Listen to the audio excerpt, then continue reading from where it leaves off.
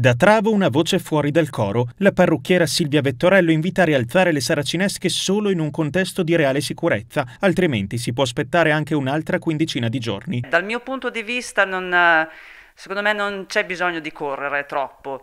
Abbiamo aspettato due mesi e mezzo, secondo me si può aspettare ancora due settimane, dieci giorni, c'è il tempo comunque di, di capire un attimo anche cosa dobbiamo fare, come ci dobbiamo muovere. In questo periodo il settore, già di per sé penalizzato, è stato ulteriormente colpito dal fenomeno dell'abusivismo. Ci sono persone che viaggiano tranquillamente a lavorare in casa e fanno il lavoro abusivo, cioè che è cosa da, da, sempre, cioè esiste da sempre, però secondo me in questa fase, in questo periodo, in questo momento non è assolutamente giusto. Come nel resto della provincia, anche a Travo i clienti non vedono l'ora di potersi tornare a tagliare i capelli, ma Vettorello ripete di non correre troppo. La richiesta è alta, cioè la, le persone sono lì che aspettano, però io mi sento un po' in difficoltà. Un appello alla prudenza che nasce anche dall'esperienza vissuta in famiglia con il coronavirus, un nemico invisibile che potrebbe risvegliarsi al minimo passo falso. Mio marito all'inizio ancora della, dell'emergenza ha avuto 17 giorni, è stato veramente male,